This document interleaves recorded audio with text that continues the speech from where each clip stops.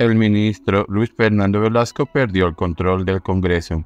¿Tendrá las horas contadas?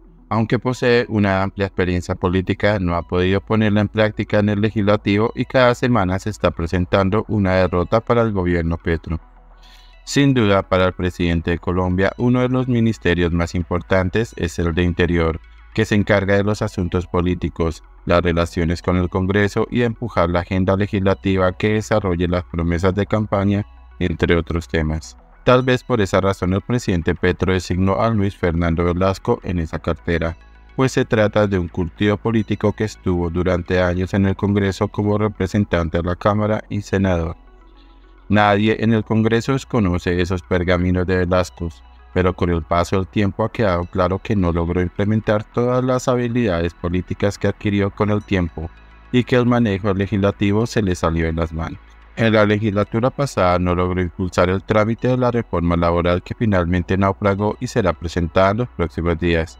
La regulación del cannabis de uso adulto también se hundió en último debate y aunque no era una iniciativa del Ejecutivo, para nadie es un secreto que Velasco la apostó para su aprobación y no logró las mayorías. Las iniciativas que se aprobaron en primer debate, como la pensional, ya venía con un trabajo del exministro Alfonso Prada y Velasco sencillamente continuó efectuando lo que estaba planteado.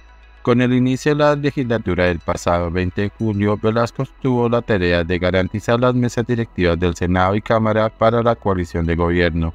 En Cámara salió victorioso con la elección de Andrés Calle, pero en Senado sufrió una aplastante derrota con la elección de Iván Name como presidente del Senado.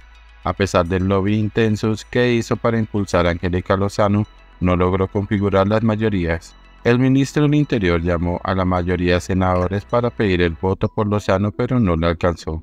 Finalmente, Name superó por cuatro votos, 54 a las senadoras 50 y le fue ungido por la plenaria como nuevo presidente del Congreso. Las llamadas que hizo a varios legisladores no cayeron bien en parte del Senado, Varios congresistas interpretaron ese lobby como una injerencia del Ejecutivo en asuntos netamente del legislativo y sencillamente lo llevaron la contraria. Además, no dejarían que el presidente Gustavo Petro continuara con el manejo de las dos plenarias. Ese no es un tema menor, ya que en esta segunda legislatura se espera el trámite de la reforma a la salud, la pensional, la laboral y otros proyectos importantes para el Ejecutivo. Eso sin contar que se deberá pensar en garantías para las elecciones regionales del 29 de octubre. Por eso la derrota lo sacó corriendo el Congreso. Tan pronto se conoció la victoria de Iván Name Velasco salió del recinto del Senado y no quiso atender a los medios de comunicación. Saludó al nuevo presidente del Congreso y evitó ser cuestionado por el incumplimiento del objetivo. Los rumores indican que en la casa de Nariño esa derrota no gustó para nada y que el presidente Petro estaba molesto con el desempeño de Velasco. La semana siguiente a la instalación del Congreso, el Pacto Histórico también perdió varias comisiones constitucionales que quedaron en manos de sectores de oposición e independientes. Pero para rematar la mala hora del manejo político de Velasco, este martes 1 de agosto estaba previsto que Alexander López fuera elegido como presidente de la Comisión Primera del Senado y tampoco se cumplió con ese objetivo. El gobierno Petro fue derrotado nuevamente y el ministro del Interior tuvo que tragarse el sapo por la victoria del conservatismo que logró poner en la mesa directiva de la célula legislativa al senador Germán Blanco. Velasco mostró su molestia por ese asunto y señaló que es una lástima que se hayan roto los acuerdos políticos.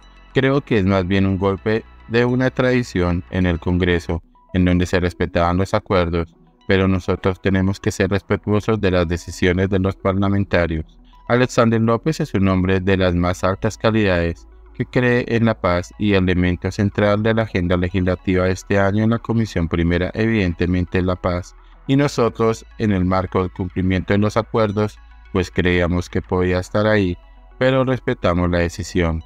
Germán Blanco es una persona seria, no creemos que sea una amenaza para el debate parlamentario que vamos a hacer en la Comisión Primera del Senado, aseguró el ministro.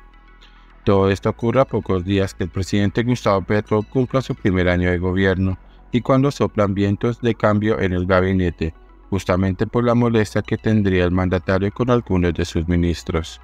La otra semana se conocerá si el presidente Petro ajustará las tuercas en su gobierno porque, Por ahora, en temas políticos, la oposición y los independientes están ganándole la partida a los sectores cercanos al mandatario.